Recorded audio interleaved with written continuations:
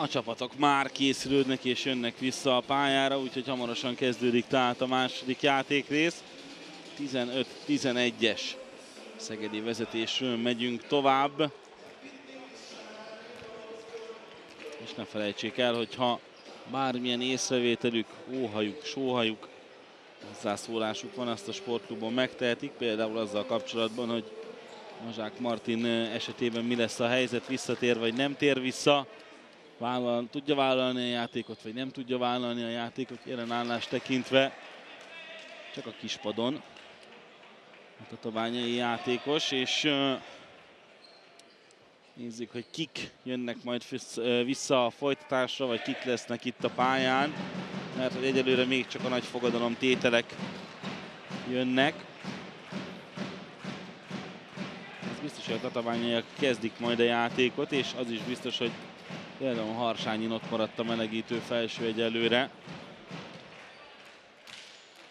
négyessel Pásztor Ákos érkezik majd a helyére. Meg az is biztos, hogy Mikler marad a kapuban.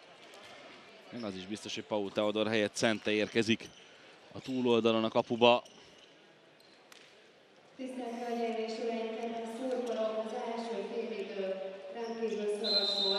Rosszóni Ben beállóban, tehát egyelőre Mazák nem tud visszatérni a pályára.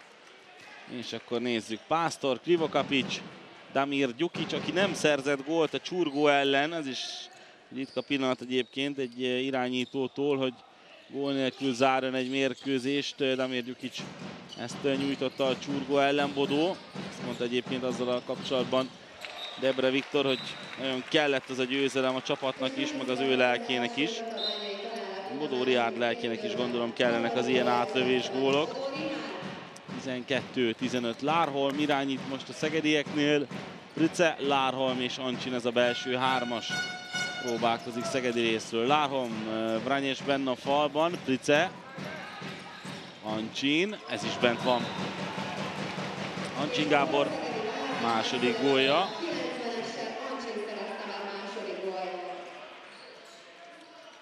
Bodó, Gyukic,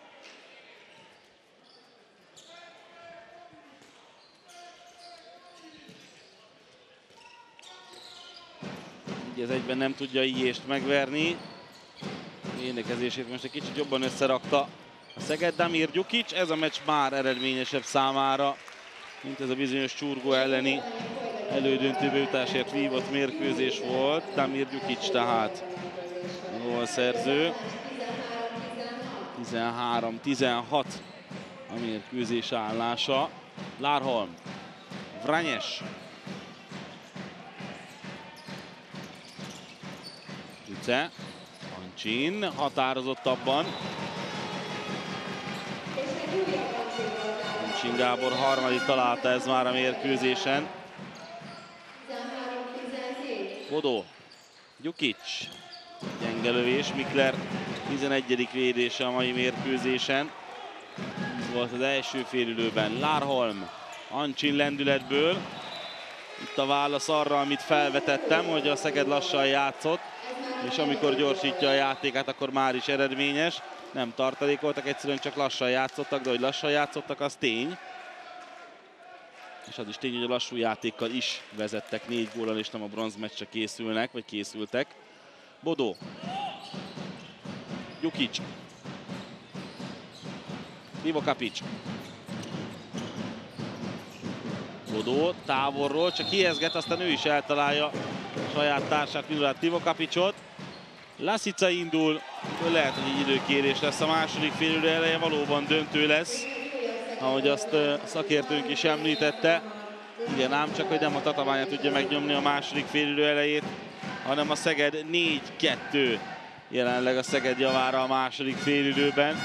És ugye ez azt jelenti, hogy 19-13, azért szépen lassan a papírforma úgy látszik, hogy igazolódik ebben a párosításban illetve ha visszagondolunk az első elődöntőre, akkor ebben a párosításban is. A Tatabánya a Szese ellen, a Győr ellen kezdte a menetelését az idei Magyar Kupa kiírásban.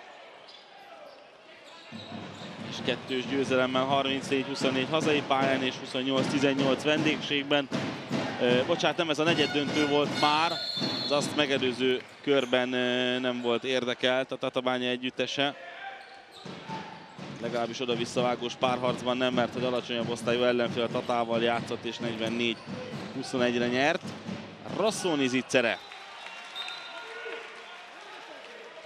Az első gólja Rosszóninak. 14-19, szóval Tata Tatabánya, tehát 21-44. A negyedik fordulóban a szegediek pedig Balatonfüreden nyertek 27-22-re, és aztán a következő ellenfél ugye a Szeged számára a Csurgó volt, a csurgói vereség, ami egyben a szezon első veresége volt, akkor még a Szeged számára a magyar földön, ugye? A Metalurg Skopjétól kaptak ki, még a BS rejtezőben a szegediek, Price tovább teszi, Szóval 25-24, ez az egy gólos előny nem volt elég a csurgónak, hiszen a visszavágón, ahogy ezt láthatták is a sportklubon, 34-20 nyert a Szeged és a Tatabánya Szese elleni oda-vissza párharcát pedig már említettem. Ez tehát az ide vezető út a két csapat számára. Ennek a meccsnek az útja pedig még 35 percen keresztül itt a Pécsi parketten zajlik. Ancsin könnyen lehet, hogy a meccs embere lesz. A második félidőben 4 perc 45 másodperc alatt 4 gólt szerez, összességében 5-nél jár Ancsin, ezzel a mezőny legeredményesebb játékosa, ugye eddig Lárholm 4 góljával volt a legeredményesebb. Gyukic dadog a kezében a labda, Tatamánya pedig lehet, hogy itt veszíti el ezt az elődöntőt. És kihagyja Szente! És így és ezzel, hogy lemarad, létszám fölénybe kerülhet a Tatabánya, így és szerezne labdát, amit aztán mégiscsak visszakap a Tatabánya együttese. Szente közeli képen egy pillanatra, kivált az utolsó pillanatig, és már nem tudta mellette ellőni. Jukic. Ivo Kapic. Gyönyörű egyéni alakítás. Milorad Kapicstól. Ez a harmadik találata a mérkőzésen. 15-20, 5 gól tehát a különbség, ez pont egyel több, mint a félidei négy gólos differencia. Lárholm. Nagyon dicsérték egyébként a szegediek a azt mondták róla, hogy a Magyarország egyik legpatinánsabb csapata az ellenfél. Ráadásul ugye, ahogy ez már szóba került itt az interjú kapcsán is, ezért Szeged, a Szegednek Tatabányáról és kimondottan ugye a városról azért az elmúlt időszakot figyelembe véve nincsenek túlságosan jó emlékei, viszont az mindenképpen örömteli, és ezt a szegedi szurkolók is eh, biztosan díjazzák, hogy több egykori szegedi eh, kedvenc is szerepel a Tatabánya együttesében. Ugye Krivo Kapics sokáig játszott Szegeden, és volt meghatározó ember. Körül Szabolcs lehetne még itt a sérülés miatt hiányzik a Tatabánya gárdájából. Price, de nagy gól Nikola Plice. Ez neki a második a meccsen. Szóval nincs itt törő a mai mérkőzésen, de ugye ő is játszott, és hát Szente Gábor is ezért megfordult Szegeden.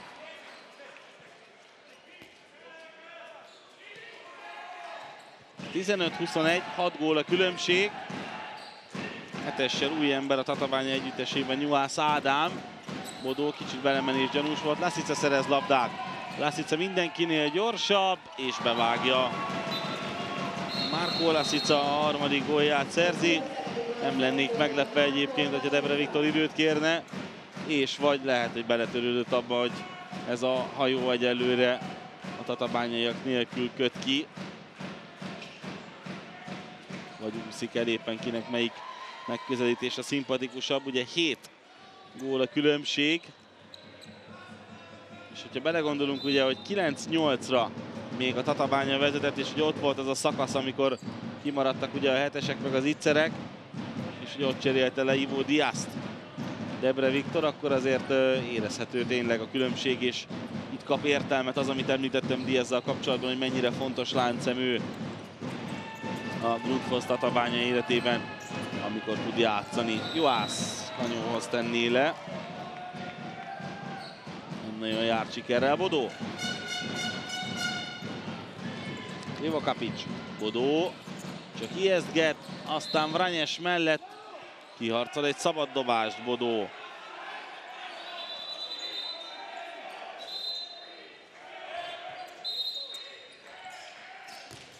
Mikler könnyű szerrel védi az átlövést, a kipattanó viszont megvan Rosszóninak. Így mit sem ért át a védés, hiszen ellenfélhez ment a kipattanó. Bravúr gól. A brazil Rosszóni második találatát szerzi. Azt mondta Juan Carlos Pásztor egyébként, nagyon szeret kupameccseket játszani, már azon túl, amit nekünk mondott, íme a Szegedi Mester a képen, hiszen teljesen más játékot kíván, mint a bajnokság. És ő is nagyon dicsérte egyébként a Tatabánya együttesét. Jonas Lárholm ötötször a mai meccsen. Az alapszakasz gól királya volt, sok-sok hidegvérrel értékesített hetesének is köszönhetően. Tehát ennél fontosabb, hogy ma öt gólos már, és ráadásul 100%-os teljesítménnyel rendelkezik Lárholm. Hacirt, Juhász, szép cseri és mellett Vranyes segít be. Marad a 7 gólos különbség akkor, amikor 21 perc van hátra a mérkőzésből. Juhász, Mikler, és ez most már saját társhoz megy. Megvan a 12. védése, nagyon nagy formában Mikler Roland. Rice, belemenés. Anyú indul, meg Pásztor is indul. Pásztor Ákos a befejező ember.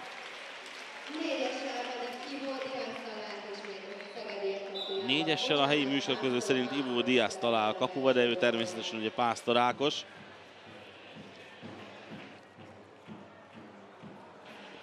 Tizenhét 23 tehát 6 gól a különbség.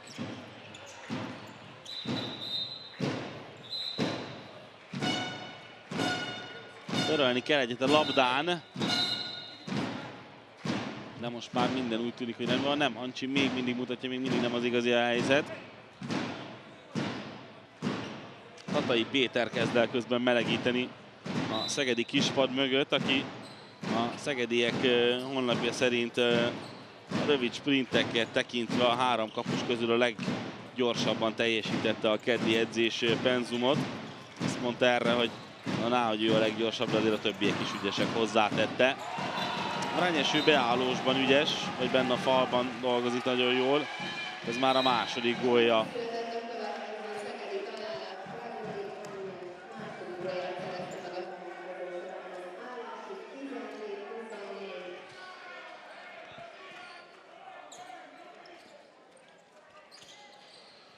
Juhász. Kacirc.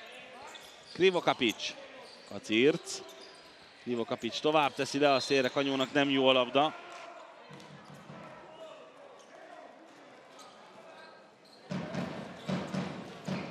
Kacirc. Mász. Krivokapics jön, és onnan ez neki fél zicser. Hitler viszont ma nem csak a fél zicsereket, hanem az zicsereket is hárítja. Nagyon nagy formában Mikler Roland számára egyelőre ennyi volt ez az elődöntő. 41 percet kapott, jön a helyére Tatai Péter. Ő is egyébként vastaps közepette léphet pályára. Azt mondta már, miközben Zubai is jön egyébként Vranyes helyére, és Tatai köszöni meg a, a bíztatást a nézőknek. Már Zubai szedi össze a labdát, hogy igaza volt Zubainak, ugye ezt Tatai mondta, amikor arra kvázi panaszkodott, de inkább ez csak ilyen helyzet értékelés volt, hogy nagyon-nagyon fáradt a Németország elleni edzőmeccsek után, viszont mostanra már kipihenték magukat mindketten, és azért dolgoznak, hogy ez a Pécsi négyes torna lehető legjobban alakuljon a szegediek számára, nagyon készülnek rá. De első körből bárki is nyilatkozott Szegedi részről, mindenki azt mondta, hiszem egy kicsit nagyképű volt ennél az ejtésnél, a labda viszont marad a szegedieknél, hogy a legfontosabb feladat ez a Tatabánya elleni mérkőzés. Ugye ez nagyjából egy 20 percig azért nem is volt teljesen alaptalan. Az első félülő utolsó 10 perc, a második félülő első 10 percet át a meccs középső harmada, ha lehet így fogalmazni, viszont egyértelműen ellentétes képet mutatták a szegediek akarata és szája íze szerint alakul. Lárholm óriásit játszik Jonas Erik Lárholm. 6 gólos. 25-17, szépen lassan azért nyílik az olló, és a közte 10 felé robog a Pixeger együttese. Úgy fest át, hogy összejöhet az álomdöntő. A klasszikus, a magyar El Classico, a kézilabda El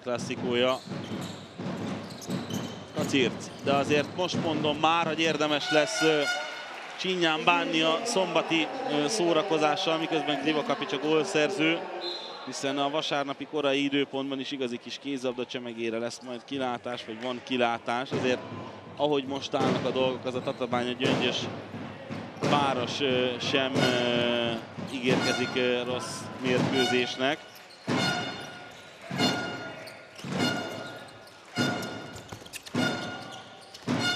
Oly, de nagy gól! Kekezovics. Az első gólja Marinko Kekezovicsnak.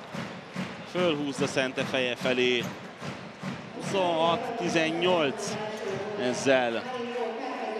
A második félidő egyértelműen a Szegedről szól már, és mondom az első félidő utolsó 10 percében fordult meg ugye ez a történet. Mellé durrantja Kacírt. Tessék nézni megint a gyorsabb játék, ahogy növeli a tempót a Szeged Lasica, a gólszerző. Jönnek az újabb gólok.